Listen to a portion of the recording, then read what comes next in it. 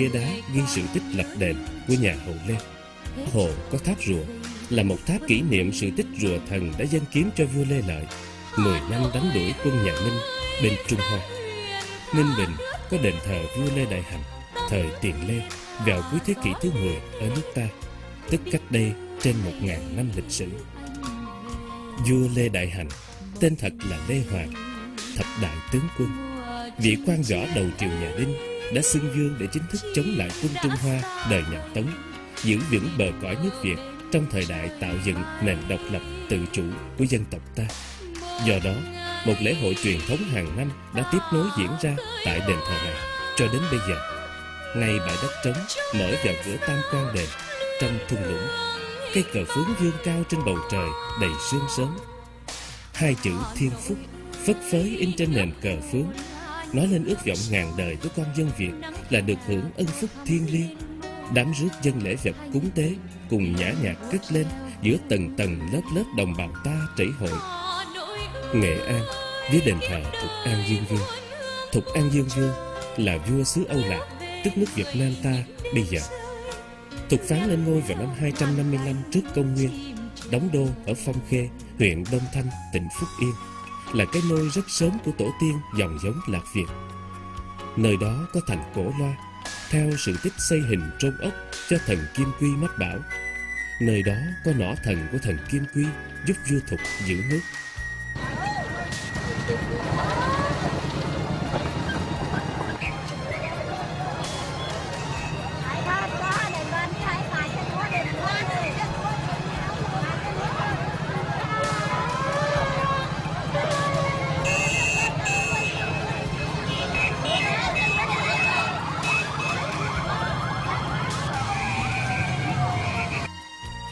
Tiếp nối sức vùng lên của dân Việt qua hai bà Trinh.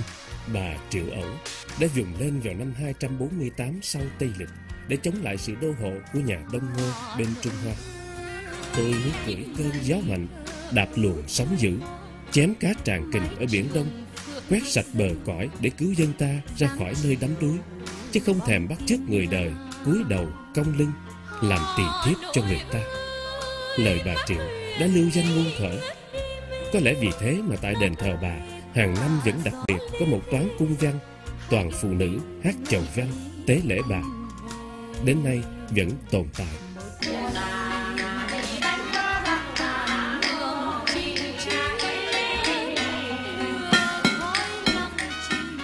Từ các nền văn hóa trên đã hình thành nên kỷ nguyên văn minh, dựng nước đầu tiên của các tộc người ở Việt Nam.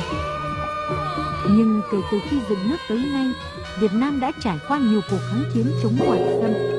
Nhiều tượng đài lớn được dựng lên, tôn vinh các vị anh hùng, các chiến công hiển hách của toàn dân tộc.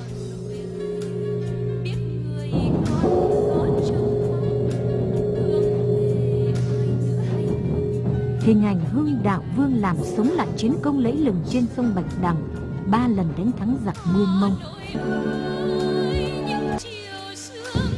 Thế kỷ thứ 18, Quang Trung Nguyễn Huệ đánh đuổi quân nhà Thanh, thống nhất đất nước, lập kinh đô tại Huế. Phần lớn kinh thành Huế còn lại ngày nay được xây dựng từ năm 1805, thời vua Gia Long, là sự kết hợp tài tình giữa kiến trúc Đông và Tây. Năm 1993, Huế được UNESCO công nhận là di sản văn hóa thế giới. Cứ hai năm một lần, Festival Huế được tổ chức là dịp văn hóa Việt Nam giao lưu với văn hóa bạn bè nhiều nước trên thế giới. Huế có nhiều khách sạn kiến trúc tiện nghi theo kiểu cung đình. Ta có dịp thưởng thức nghệ thuật ẩm thực hoàng gia.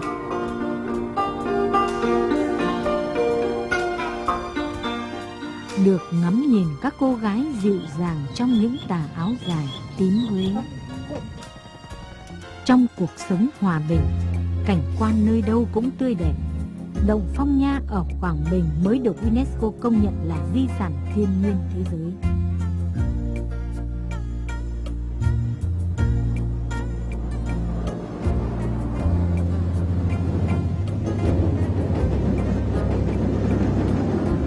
Từ Bắc vào Nam, ngoài những thắng cảnh di tích ở Huế, Hội An là địa danh du lịch rất nổi tiếng của Việt Nam là một trong năm địa danh ở Việt Nam được UNESCO ghi tên vào danh mục Di sản văn hóa thế giới.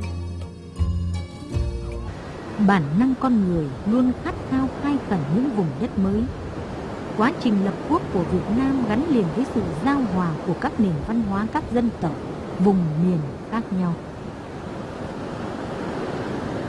Tại Sa Huỳnh thuộc tỉnh Quảng Ngãi và nhiều nơi khác ở miền Trung đã phát hiện ra nền văn hóa Sa Huỳnh khá phát triển, có niên đại khoảng 2.000 năm trước. Văn hóa Sa Huỳnh trải dài từ Quảng Bình qua Tây Nguyên tới Đồng Nai. Có thể văn hóa Sa Huỳnh đã phát triển thành văn hóa Champa sau này. Trong quần thể tháp bà ở Nha Trang được xây vào khoảng năm 813, gồm có bốn ngọn tháp, trong đó thờ nữ thần Yana, thờ thần Krikambuhu và thần Yanika. Nhiều tác phẩm điêu khắc Champa nổi tiếng được đưa về trưng bày và bảo quản tại Viện Bảo tàng ở Đà Nẵng.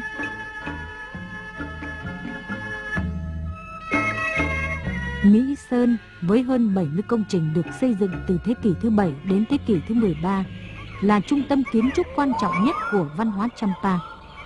Năm 1999, Mỹ Sơn được công nhận là di sản văn hóa thế giới.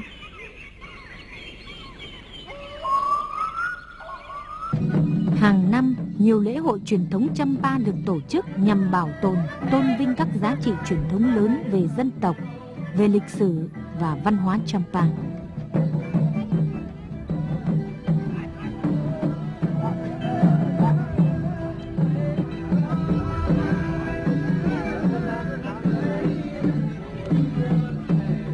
Thành phố Nha Trang, tỉnh lỵ của tỉnh Khánh Hòa là một trung tâm du lịch lớn của Việt Nam với bãi biển đẹp, dài 7 km, cùng hàng chục chùa chiền và phong cảnh ngoạn mục.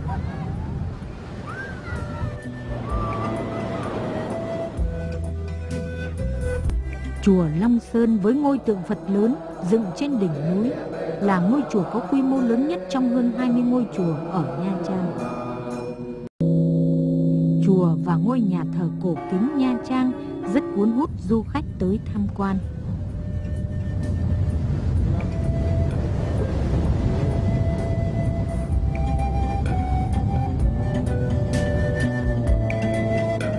Dọc Trung Bộ có nhiều rừng dừa sum xuê đơm trái, phủ dập một màu xanh mướt, thanh bình. Từ miền Trung ngược lên phía Tây là Tây Nguyên hùng vĩ với bản sắc văn hóa Tây Nguyên độc đáo.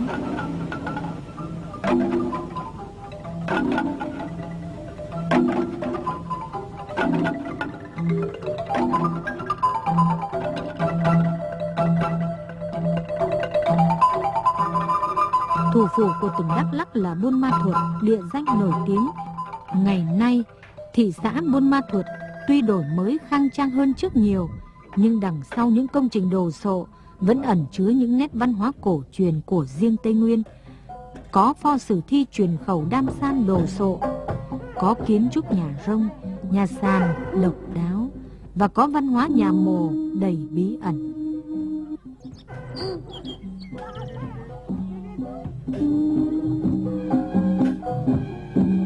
Đàn đá, đàn nước, cồng chiêng là các nhạc cụ đặc trưng làm tưng bừng những lễ hội ở Tây Nguyên.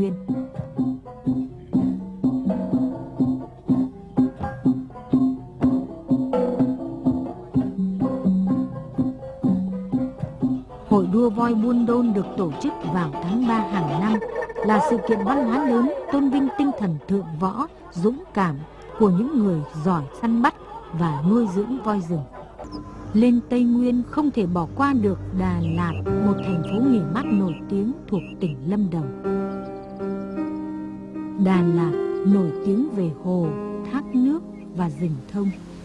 Tất cả tạo nên một vẻ đẹp